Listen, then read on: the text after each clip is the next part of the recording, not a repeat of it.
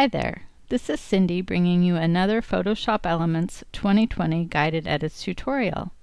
I'm pretty impressed with the guided edits. While I predominantly use Photoshop, the guided edits in Photoshop Elements make quick work of editing photos and some fun and quick effects. Now as you can see here I'm in expert mode of Photoshop Elements and I've opened several photos so that I can show you how easy it is to remove objects using the Object Removal Guided Edit.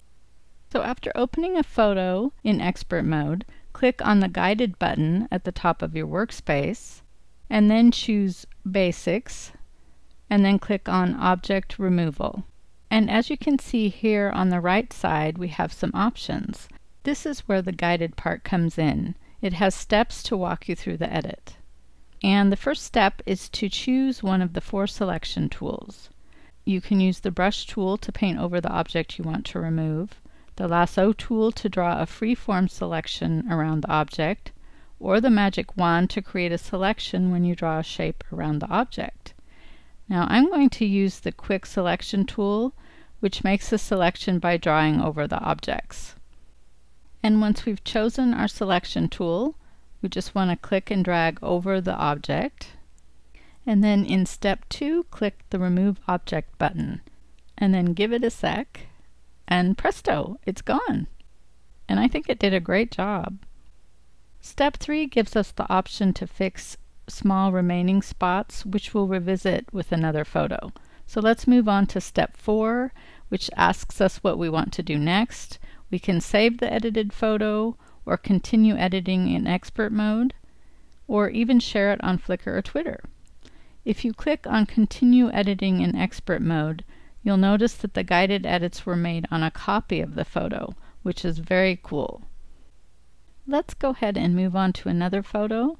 This photo is fine as it is, but I thought it was a great one to demonstrate this edit. So let's go ahead and click on the guided button and then choose basics and click on object removal.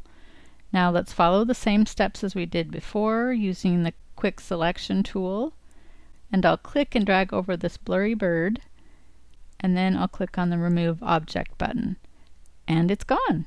It did leave a bit of a shadow, so in step 3 we can choose the spot healing brush and you can adjust the brush size so I'll make it bigger and then just click on the areas you want to remove. So easy. Okay, and I don't want to save these edits, so if I just click on the expert button, then a dialog box will pop up and I can just click on discard. Okay, let's do one last photo. I'm warning you, this can be addictive. now, in this photo, I want to remove the suitcase. So I'll use the quick selection tool again to select it. And then I'll click on the remove object button and it did a great job. Now if you look closely you'll see that there are a couple spots that we can clean up with the spot healing brush. And there we have it. Such a fun and easy edit. I hope you have fun with it, and I'll see you next time.